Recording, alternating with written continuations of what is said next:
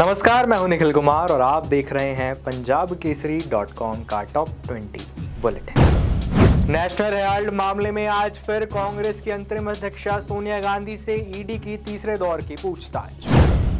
सोनिया गांधी से ईडी की पूछताछ के खिलाफ कांग्रेस मुख्यालय में कांग्रेस कार्यकर्ताओं का प्रदर्शन, सुरक्षा व्यवस्था सख्त। सोनिया से पूछताछ पर पी चिदम्बरम का बयान, कहा, जब हमारे नेता को परेशान किया जा रहा हो तो हमें विरोध प्रदर्शन का अधिकार है। मनी लॉन्ड्रिंग केस को चुनौती देने वाली याचिका पर सुप्रीम कोर्ट ने सुनाया बड़ा फैसला।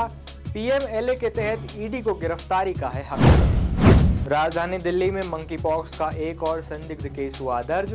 ट्रैवल हिस्ट्री के साथ लक्षण भी सभी राज्य अलर्ट। देश भर में कोरोना महामारी के पिछले 24 घंटे में सामने आया अठारह नए मामले। गुजरात में जहरीली शराब पीने से मरने वालों की संख्या सैंतीस पर पहुँची। सत्तर से ज़्यादा लोग अस्पताल में भर्ती। जहरीली शराब मामले में गुजरात पुलिस ने दर्ज किया हत्या का केस। एफआईआर में 24 लोगों के नाम, अब तक 14 आरोपी गिरफ़्तार। पश्चिम बंगाल एसएससी घोटाले मामले में पार्थ चैटर्जी के आवास समेत पूरे राज्य में तेरह जगहों पर ईडी ने की छापेमारी। सुप्रीम कोर्ट के जाने माने वकील विनीत जिंदल को मिली जान से मारने की धमकी, पत्र में लिखा तेरा भी सर तन से जुदा होगा एस की बैठक में भाग लेने के लिए 28 जुलाई को उज्बेकिस्तान जाएँगे विदेश मंत्री S Jaishankar. RJD supremo Lalu Prasad Yadav के ओएसडी रहे भोला यादव को सीबीआई ने किया गिरफ़्तार।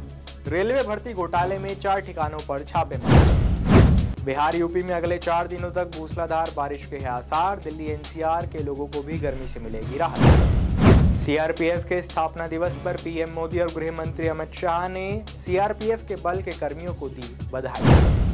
सेना को मिलेंगे स्क्वाम ड्रोन करेबनियाई और बुलेट प्रूफ जैकेट। रक्षा मंत्रालय से अट्ठाईस हज़ार करोड़ से ज़्यादा के सौदे की मिली मंजूरी। जम्मू कश्मीर के कुलगाम में सेना और आतंकवादियों के बीच मुठभेड़। दो से तीन दहशतगर्द घिरे होने की संभावना, एक जवान घायल। कर्नाटक में बीजेपी की युवा नेता की हत्या के बाद मचा बवाल, प्रदर्शन के बाद बाज़ार हुए बंद। राजधानी में चाइनीज़ मांझे ने ली एक और की जान। बाइक से घर जा रहा युवक आया चपेट। कॉमनवेल्थ गेम से बाहर होने पर नीरज चोपड़ा हुए इमोशनल फैंस के लिए लिखा भावुक करने वाला पोस्ट। फिलीपींस में भूकंप के लगे तेज झटके रिक्टर स्केल पर सात दशमलव तीन थी तीव्रता। इसी तरह की तमाम बड़ी खबरों से जुड़े रहने के लिए बने रहिए पंजाब केसरी डॉट कॉम के साथ।